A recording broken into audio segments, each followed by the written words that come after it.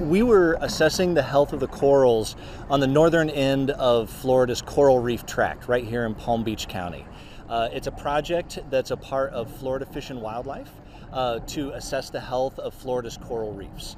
And uh, it's an ongoing project that we've been doing uh, for six years now we went out and looked at the coral and found out there was a really good diversity of coral, and the coral looks really healthy. Um, the uh, you probably heard a lot of uh, talk about coral bleaching and everything in the news recently.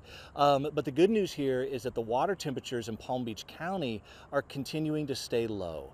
And so that's really good for the coral and makes them nice and healthy.